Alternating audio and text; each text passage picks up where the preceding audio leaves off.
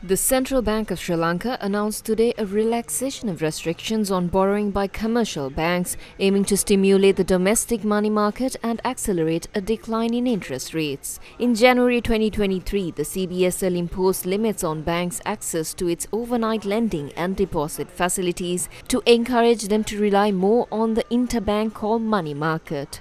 This move aimed to revitalize the money market and reduce banks' over dependence on the central bank. The CBSL uh, reports that the initial restrictions achieved their intended goals, reactivating the money market and moderating competition for deposits among banks. The measures also helped align market interest rates with the central bank's monetary policy stance while maintaining financial system stability. Following a review of market developments and improved liquidity conditions, the CBSL has decided to ease the borrowing limits. Effective February 16, 2024, the restriction on access to the standing lending facility is completely removed. The limit on access to the standing deposit facility is doubled from 5 times per month to 10 times per month.